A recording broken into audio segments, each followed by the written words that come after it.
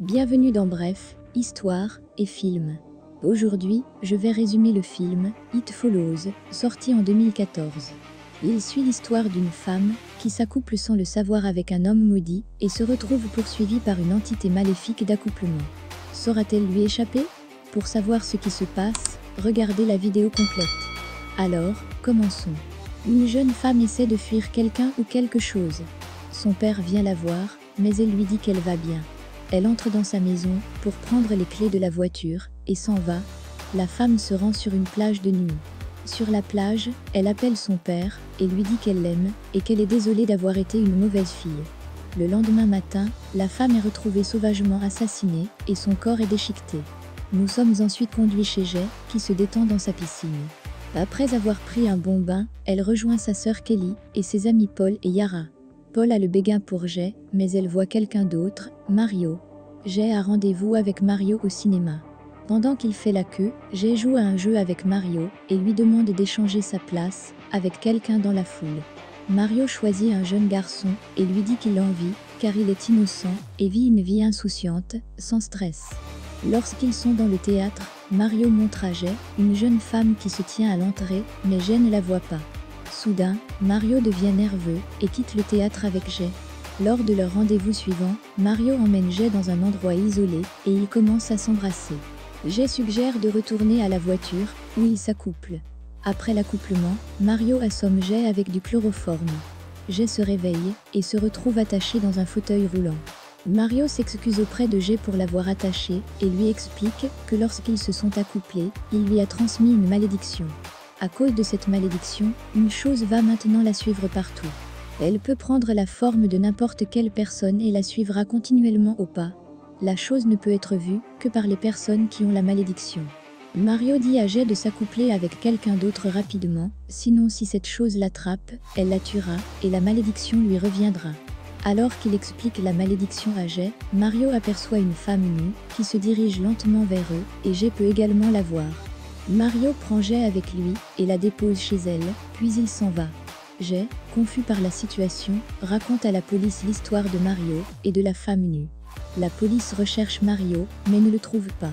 Après s'être remise de l'incident, Jay vérifie son appareil d'accouplement pour voir s'il est toujours fonctionnel. Un jour à l'école, Jay aperçoit une vieille femme en blouse d'hôpital qui marche droit sur elle. Effrayé, Jay quitte brusquement sa classe, mais la vieille femme continue de marcher vers elle. À part Jay, personne d'autre ne peut voir la vieille femme. Avant que la vieille femme ne puisse l'attraper, Jay s'enfuit. Elle se rend directement sur le lieu de travail de Paul et Kelly et leur raconte tout. Paul veut impressionner Jay et lui propose de passer la nuit avec eux. Cette nuit-là, Jay, Kelly, Yara et Paul passent la nuit chez Jay. Plus tard dans la nuit, Jay rejoint Paul sur le canapé et regarde la télévision ensemble. Pendant qu'ils parlent, ils entendent quelqu'un briser la fenêtre de la cuisine. Paul va vérifier le bruit, mais ne trouve personne dans la cuisine. Jay va vérifier par elle-même et voit une femme urinante à moitié nue aux yeux sombres se diriger vers elle. Effrayé, Jay court à l'étage dans une chambre. Paul et Kelly sont désorientés par la situation et pensent que Jay a des hallucinations. Alors qu'ils tentent de le consoler, Yara frappe à la porte. Lorsque Kelly ouvre la porte, un homme grand aux yeux sombres entre dans la chambre. Jay court pour sauver sa vie, car personne d'autre ne peut voir l'homme. Elle court jusqu'à une aire de jeu voisine et essaie de comprendre ce qu'elle vient de voir. Paul, Kelly et Yara la rattrapent. Un voisin, Greg, vient les voir et leur propose de les aider en les raccompagnant. Jay veut confronter Mario et découvrir ce qui se passe exactement avec elle. Ils arrivent à l'adresse de Mario, qui semble avoir été abandonnée il y a longtemps.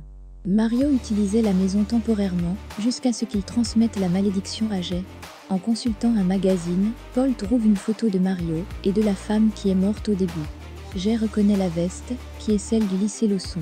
Jay et Greg se rendent à l'école pour trouver la véritable adresse de Mario.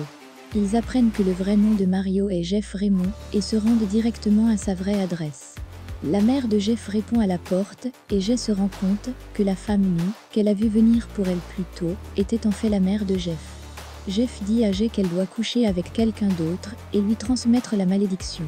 Insatisfait de l'explication de Jeff, le groupe se rend à la maison du lac de Greg où ils peuvent élaborer leur prochain plan. Jay décide d'apprendre à utiliser une arme à feu pour se protéger. Alors que le groupe se détend près du lac, l'entité prend la forme de Yara et s'empare des cheveux de Jay. Paul l'attaque, mais se fait souffler. Jay parvient à s'échapper et prend une arme. Après avoir tiré plusieurs fois, elle touche l'entité, mais celle-ci n'est pas affectée. L'entité prend la forme d'un grand homme et casse la porte. Elle prend ensuite la forme d'un garçon qui vit à côté de Jay. Jay court vers la voiture de Greg et s'en va, mais s'écrase dans un champ de maïs. Elle se réveille à l'hôpital, où elle est soignée pour son bras cassé. Ayant peur pour sa vie, Jay décide de transmettre la malédiction à Greg, car il n'y croit pas. Lorsqu'ils sont seuls, Jay s'accouple avec Greg, dans l'espoir de se débarrasser de la malédiction. Paul apprend l'existence de Jay et Greg, et en a le cœur brisé. Quelques jours plus tard, Jay sort de l'hôpital et rentre chez lui. Une nuit, Jay regarde par sa fenêtre et voit Greg qui descend la rue, jusqu'à sa maison. Il brise la fenêtre et entre dans la maison. Jay se rend compte que l'entité a pris la forme de Greg. Jay court vers la maison de Greg pour le prévenir, mais trouve l'entité sous la forme de la mère de Greg, frappant à sa porte. Dès que Greg ouvre la porte, l'entité lui saute dessus. Jay voit l'entité s'accoupler avec Greg qui est mort. Réalisant que la malédiction s'est retournée contre elle, elle s'enfuit en voiture et se rend dans les bois pour passer la nuit seule. Le lendemain matin, Jay se réveille et se retrouve près d'une plage. Elle voit trois hommes qui se détendent sur leur bateau. Elle se déshabille et se jette à l'eau dans l'espoir de leur transmettre la malédiction. Elle rentre chez elle et essaie de se reposer. Paul veut s'accoupler avec Jay et lui transmettre la malédiction. Mais Jay refuse car elle ne veut pas qu'il soit tué. Paul élabore donc un plan pour tuer l'entité une fois pour toutes et mettre fin à la malédiction. En partant, Jay aperçoit l'entité sous la forme d'un homme nu qui la regarde depuis le toit. Le groupe se rend dans une piscine abandonnée où il prévoit d'attirer l'entité dans l'eau et de l'électrocuter. Jay entre dans la piscine car elle est là pas. Après un certain temps, elle repère l'entité qui a pris la forme de son défunt père. Mais au lieu d'entrer dans la piscine, elle commence à lancer des appareils électriques sur Jay pour l'électrocuter. Paul tente de tirer sur l'entité invisible, mais blesse accidentellement Yara, il tire à nouveau et atteint l'entité. Kelly la recouvre d'un drap et Paul lui tire une balle en pleine tête, la faisant tomber dans la piscine. Alors que Jay tente de sortir de la piscine, l'entité la tire sous l'eau par la cheville. Paul lui tire à nouveau une balle dans la tête et Jay parvient à s'échapper. Jay s'approche de la piscine, qui se remplit de sang.